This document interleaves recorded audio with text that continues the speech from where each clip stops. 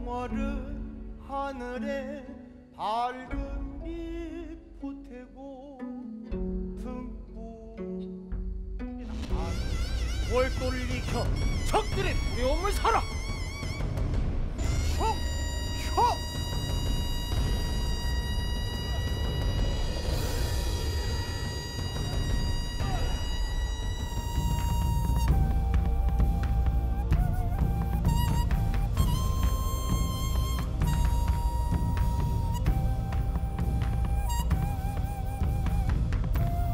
적의 공격을 받아낸다.